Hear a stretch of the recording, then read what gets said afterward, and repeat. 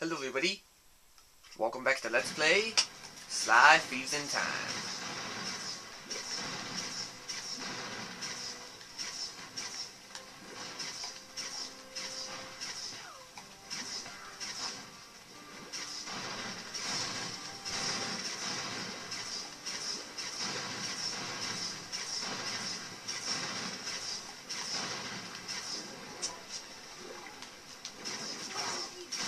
Shit! Shit! Shit!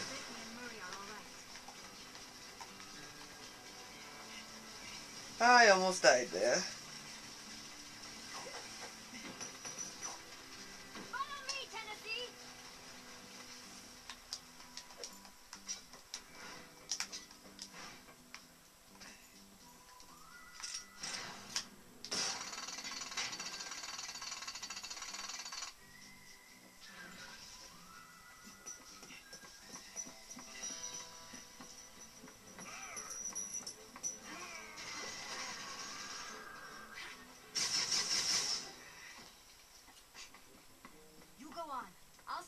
Cover you.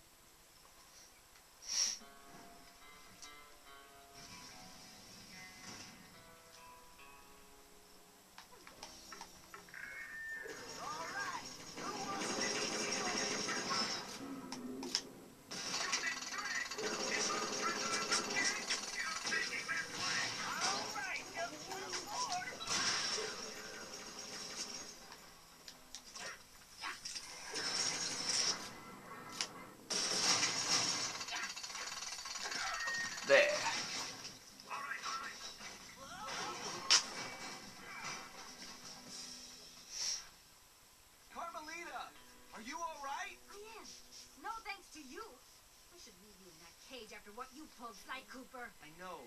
Look, I can explain everything. Well, if it wasn't for this handsome and charming gentleman, I wouldn't even be here. Oh, shucks.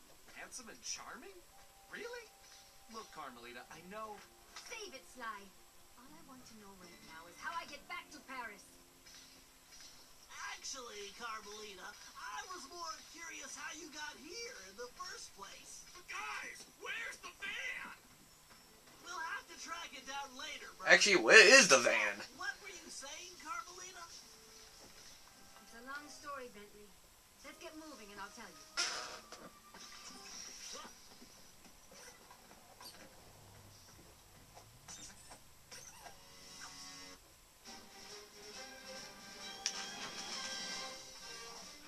Oh, this is just great. Toothpick now has the van.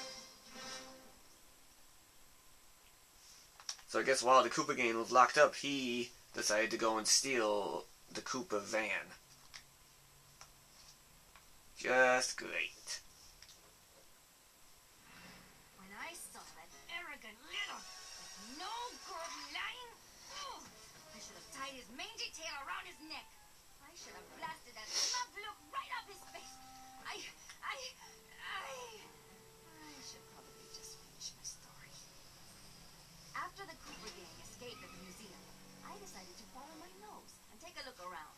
I'd been investigating the trading of stolen antiquities on the black market, but I'd never guessed that two-faced ringtail was involved. Then as I turned a corner, I was stunned to see a huge stash of stolen treasure right there in the museum. And even more shocking, Cyrille Paradox himself unloading them. I couldn't believe it. The billionaire art collector and museum patron was behind this? I was so surprised that by the time I reacted, his goons already had me covered. Then that slimy sawed-off runt had me thrown into some vile machine.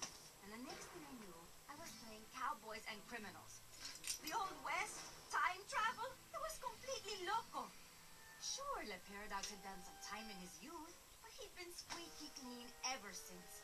And Interpol had never considered him a suspect. There were rumors about the source of his wealth, but nothing had ever been proven. Now I knew I'd solve that mystery. And of course, Cooper and his little friends were involved somehow. Why was I not surprised? The Fleabag tried to feed me some story about having to rob the museum to save the future. I was done listening to that liar. I needed to get back to Paris.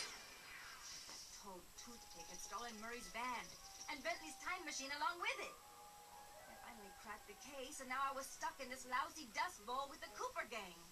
I don't know what led me angrier. Not being able to bust the low-life skunk? Or being trapped here with that lying ringtail? Only bearable thing about this whole mess was that at least Cooper's ancestor was a gentleman.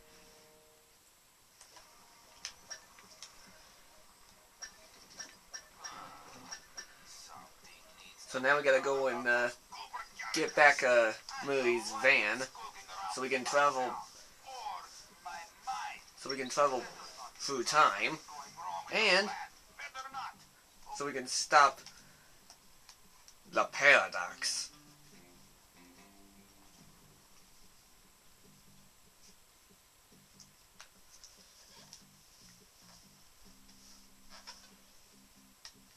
So next time on Let's Play Sly Thieves in Time, we're gonna go get.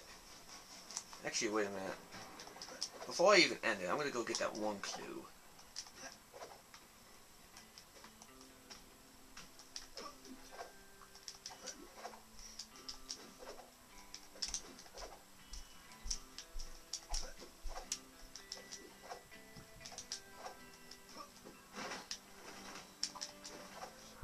Gonna get this clue clue right here, and then I'm gonna end it.